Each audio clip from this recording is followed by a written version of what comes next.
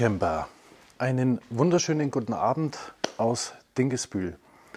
Ihr seid wieder bei Mika Caravan auf dem Kanal gelandet und ich schaue heute ein bisschen anders aus, also bitte entschuldigt. Ich habe äh, heute noch Termine gehabt, anderer Art und Weise, somit äh, schauen wir heute ein bisschen nicht Camper-like, sondern Business-like aus. Ähm, ja, wobei das Hemd habe ich schon raus, weil es ja, hat mir einfach kneift. Ich habe heute eine Neuigkeit vorzustellen bei uns bei Mika Caravan und äh, ich glaube, ihr habt es schon mal von einem anderen Kanal gesehen und ich bin jetzt ganz ehrlich, da habe es auch ich gesehen und fand es für eine Spitzenidee und äh, das will ich euch jetzt hier bei mir mal kurz vorstellen. Dazu gehen wir mal in die Werkstatt. So, jetzt sind wir hier in der Werkstatt angekommen und letztlich ähm, habe ich mir gedacht, wir müssen uns einfach, äh, ja, sage ich mal, unseren Kunden auch den Wünschen gegenüber so ein bisschen äh, beugen. Und das ist auch ein ganz wichtiges Segment. Das haben immer mehr Kunden darauf angesprochen. Und äh, das Thema ist einfach wirklich ein riesenbrennendes Thema. Und zwar geht es letztlich um das Gewicht bei Wohnmobilen. Äh, das wir immer wieder Zubehör einbauen, Solarplatten einbauen und dann letztlich natürlich die Frage, ja, was wiege ich denn jetzt eigentlich? Und ähm, bis jetzt konnte man das sicherlich auf Mülldeponien bei war, keine Ahnung, äh, irgendwie auf der Waage messen, aber das entscheidende Gewicht, das sind ja nur zulässige Gesamtgewichte, aber die Achslasten kann man natürlich dadurch nicht rausmessen. Und das ist jetzt der Grund, äh, warum ich mich auch dazu entschieden habe, ähm, diese, hoppala, Entschuldigung, jetzt ist mir das runtergefallen, oh, diese Waage von, äh, äh, diese Wohnmobilwaage von Artesi, äh, Cartesi heißt das, glaube ich, äh, zu kaufen bzw. zu organisieren, die echt geil ist. Ich meine, ich, ich habe das Video ja von Götz gesehen bei WCS, der hat ja die gleichen. Und ich muss ganz ehrlich sagen, äh, die sind wirklich der Hammer, die Dinger. Also ich habe es jetzt auch gleich hier bei meinem Fahrzeug ausprobiert. Bin auch schon erschrocken, bin ich auch ganz ehrlich. Also alle Achtung. Ähm, aber ich habe es hier dementsprechend mal installiert und ihr seht, ich kann hier jeden einzelnen Reifen, sprich Last rauswiegen. Also hier sind wir jetzt bei 695 Kilo. Jetzt gehen wir mal auf die Beifahrerseite ähm, was wir hier haben. Hier haben wir auch 695 Kilo. Jetzt gehen wir mal auf die Hinterachse. Da habe ich hier 890 Kilo.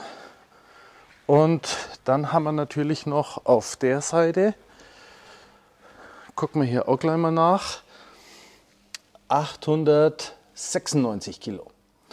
Also das ist schon geil und ähm, wir haben hier auch unseren Monitor hängen, das ist ja unser Werkstattrechner, äh, wo wir auch unser Arbeits-EDV äh, dran hängen haben. Und hier können wir jetzt bei der Live-Messung gleich sehen, hier sehen wir jetzt die einzelnen Wagen, sagt uns jetzt noch nicht sehr viel, aber eins sehe ich schon, nämlich auf den ersten Blick schon mal das Gesamtgewicht und hier sind wir bei 3 Tonnen und 176 Kilo. Das Auto ist leer. Scheiße. Oh, also ich habe nichts drin. Ähm, Wahnsinn. Also ich bin da schon ein bisschen erschrocken, was hier äh, an Gewicht anfällt. Ähm, das ist schon echt heavy. Und jetzt kann man hier natürlich auch noch umklicken. Also jetzt gehen wir mal auf den Schwerpunkt, dann kriege ich hier nämlich einen ganz anderen Bildschirm. Und schon sehen wir hier die Verteilung, wie es ausschaut, wo die Differenzen sind. Äh, das äh, Achsgewicht sehen wir mit 1584 äh, und 1591. Da liegen wir gut drin, da haben wir dann hier die Differenzen dementsprechend. Also rechts und links die Differenzen. Also das ist schon echt eine geile Geschichte, muss ich wirklich sagen. Also gefällt mir richtig mega. Also ich muss jetzt hier nur ein bisschen rumspielen, weil ich habe jetzt hier noch gar nicht viel gemacht. ich weiß jetzt noch gar nicht, was man hier alles machen kann. Aber es ist schon mal, äh, das Ganze kann man jetzt hier umstellen auf Prozente. damit wir sehen, was in Prozenten, wir wollen es natürlich immer im Gewicht haben. 100 Prozent ist jetzt in dem Fall natürlich das Gesamtgewicht gewesen hier von 300, äh, von 3 Tonnen 176 Kilo. Dann haben wir hier noch eine Diagonalverteilung vom Gewicht. Also das ist echt krass, was man hier alles machen kann. Also das finde ich schon richtig heftig. Ähm, und dann haben wir noch eine Achsverwiegung entsprechend, äh, wo hier das erste Achsgewicht gleich steht mit 1584. Jetzt gehen wir hier mal weiter, dann kommt das zweite Achsgewicht. Halt, das ist das gleiche nochmal. Ähm, ja, da muss ich mich nur wenig einfuchsen, wie das genau funktioniert, aber es ist wirklich eine mega Geschichte. Und das hier finde ich am allergeilsten, ähm, damit man halt gleich sieht, Waage 1, Waage 2, wo entsprechend die Gewichte hängen. Jetzt muss man das aber nur einstellen, weil die Einstellung hier noch nicht stimmt, weil man muss natürlich einstellen, wo ist Waage 1 und Waage 2. Ähm, wie gesagt, da muss ich mich noch ein wenig durchfuchsen, das kann man hier machen. Äh, hier kann man Einheiten anstellen, Parameter einstellen und so weiter. Also hier gibt es ganz Geschichte, ganz viele Geschichten, wo man hier dementsprechend organisieren kann. Dann kann man hier Prüfberichte äh, rauslassen und, und, und. Also alles in allem echt eine tolle Sache. Und wichtig ist im Prinzip für mich als allererstes schon mal hier die äh, Live-Wiegung. Das finde ich mit am interessantesten. Also wir sehen jetzt genau, ich habe hier auf der Achse 1584, äh, also mega. Kann man richtig alles raustarieren, richtig rauslesen und das ist richtig schön. Und von dem her finde ich das ganz wichtig und das bieten wir eben jetzt auch aktuell unseren Kunden an, damit wir hier eben Sache zum Aufklärung betreiben und äh, den Kunden auch entsprechend wiegen oder anwiegen können, was sein Wohnmobil wiegt, mit all dem Zubehör. Und äh, auch wenn er hier mal unterwegs ist, kann er kurz halten. Äh, klar, wir müssen ein äh, paar Euro verlangen für das Wiegen. Das geht natürlich nicht umsonst. Ähm, ihr habt ja den Preis gehört, hat ja Otto Götz schon mal gesagt. Also die, die Wagen hier, die kosten richtig, richtig, richtig Geld. Also äh, da hat meine Finanzchefin schon gesagt, ob ich nicht mehr alle Tassen im Schrank habe. Ähm, aber eins ist auch klar, wenn man was kauft, muss man was Vernünftiges kaufen, muss man was Gescheites kaufen. Ich kann jetzt nicht einfach sagen, ich, ich organisiere mir hier irgendwelche äh, 200-Euro-Wagen, äh, die dann letztlich nur einmal oder so funktionieren und äh, dann hat man wieder ein Problem. Das geht nicht. Also wenn, dann brauchen wir hier schon vernünftige Wagen, die auch dementsprechend kalibriert sind, äh, die anständig eingestellt sind. Das ist mir ganz wichtig und äh, von dem her ähm, hat sich die Investition dahingehend schon gelohnt, weil es eben auch einfach echt ein Verlangen ist. Und ähm, ja, das Video wollte ich jetzt einfach nur mal anteasern, damit auch ihr wisst, dass wir sowas hier haben. Äh, wir können jetzt auch eure Fahrzeuge wiegen. Ich habe vier Platten, das heißt, eine geht bis zwei Tonnen. Also wir können aktuell acht Tonnen wiegen. Und das ist schon mal ganz gut weil die meisten Wohnmobile sind ja eh 3,5 oder 4,5, 4,8. Äh, ganz wenige gehen über die 5 Tonnen, da habe ich nicht so viel. Und wenn das einmal der Fall ist, dann äh, holen wir uns natürlich nochmal zwei Platten extra. Aber erst einmal ist das genug und bis 8 Tonnen kann ich wiegen. Das ist schon mal eine Hausnummer und äh, man muss die Platten einmal angucken. Also das ist echt Qualität. Ne? Also das ist, ist richtig geile massive Qualität, das sind richtige Originalgeschichten und ihr seht, wenn ihr da drauf drückt, wie sich das sofort verändert. Gell? Also das ist schon Hammer, wie man das machen kann, dass das so empfindlich ist, aber trotzdem so eine Masse an Gewicht wiegt.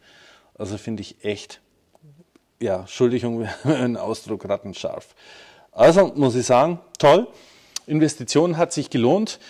Ich bin mega erschrocken, mein Fahrzeug ist leer und hat schon 3,17 äh, Tonnen. Also dann weiß ich, dass ich hier schon mal nicht viel mitnehmen kann, egal wo es hingeht. Ähm, und meiner Auflastung definitiv äh, bald folgen muss, weil so kann ich nicht mehr lange rumfahren.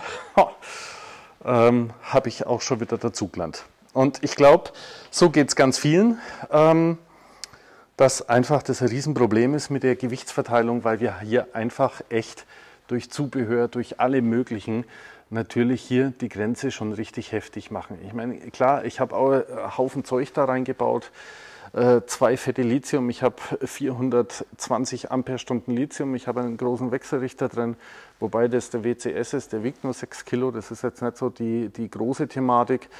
Aber ja, dann hat man natürlich noch das drin und Kaffeemaschine und das und jenes und ruckzuck äh, sieht man hier, kommt man da drauf. Jetzt, wenn man nur zwei Fahrer dazu rechnet und ein bisschen Wasser und ein wenig Klamotten, dann war es das.